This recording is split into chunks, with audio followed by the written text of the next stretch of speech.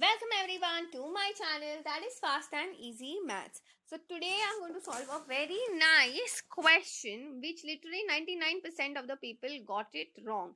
And if you think you have gotten it right then please write down your answer right now in the comment section and then scroll ahead and see how many answers did you get as right.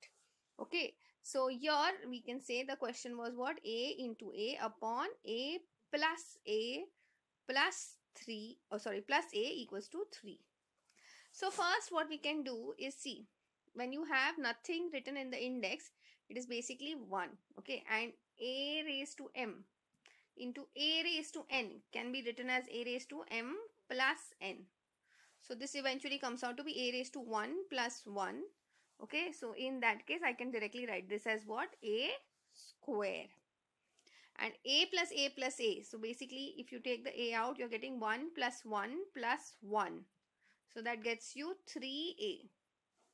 Okay, so this gets you 3a.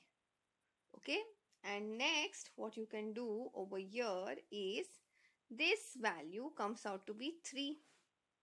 Okay, now here what you can do is see a square equals to you will multiply the 3 and a 3a and a oh, sorry with the 3 over here. I'll quickly explain why.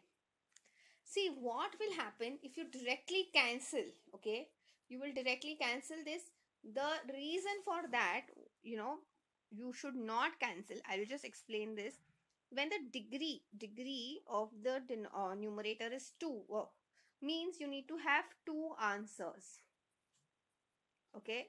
But if you cancel the a and the a square you will just get the one answer one answer and that will lead to your solution being completely incomplete.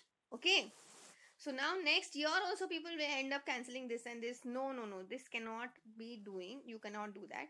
So what will happen is a square minus 9a equals to 0 you shift this 9a over there now what you can do next is you will take a out and you will get a minus 9 equals to 0. So from here you can say a equals to 0 or a minus 9 equals to 0. So which will say a equals to 9 or a equals to 0 and this is how you've gotten two values of a's. I hope this is very very clear to every one. That's it for today. I will see you in the next video.